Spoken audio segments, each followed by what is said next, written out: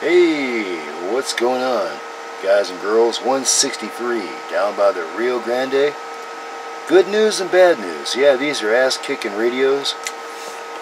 But uh, I was informed by a very reliable source that Mr. Ping's not going to import these radios anymore. I put a post on my business Facebook about it, but I figured I'd put it on YouTube too. There's a very limited supply of these. You know, Santa Claus ain't gonna wait.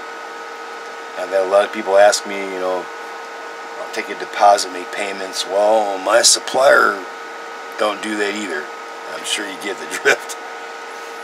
Anyways, uh, I've done a lot of videos on this radio. They're all going to be about the same. So let me buzz through it again real quick. I just wanted to make that note. If you want one of these, get in touch with me. Don't wait. They'll be around for a while, but God only knows where they're going to come from. Alright? And by the way, this, this mic is set up for this one. Let's take a look at sideband. CQDX, audio 78910. Audio breaker, CQDX. Audio 1, 2, 3, 4, 5. Yeah, nice, huh? Let's pull this off. Yes, this one's going to SoCal with that mic. So three, a couple others today. I'm going to the post office. Let's put AM.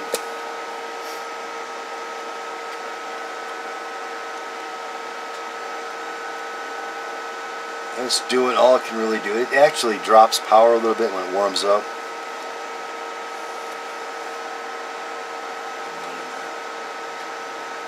She's doing all she can do, and that is with Max Mod. It is running cooler, power all the way down, wide open. The receives the same as like I always show, all I always do. They're a good radio. You can't get this stuff anymore like this.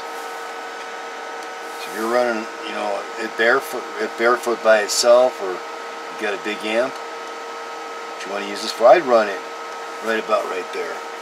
Half power on the meter is like 60 watts. And for continuous,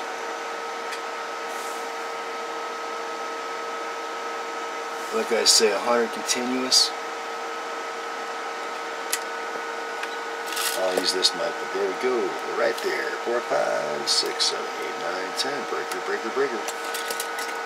Naturally, you gotta go like that. But yeah, it's talking. It's talking quite well. Alright. What's it sound like with uh, one of these? Now this is slightly modified and adjusted. So you don't have to mess with them when you get them home. It'll pick up some background noise. Wide open. You hear my Cosell running in the background. So let's kill some of the background noise.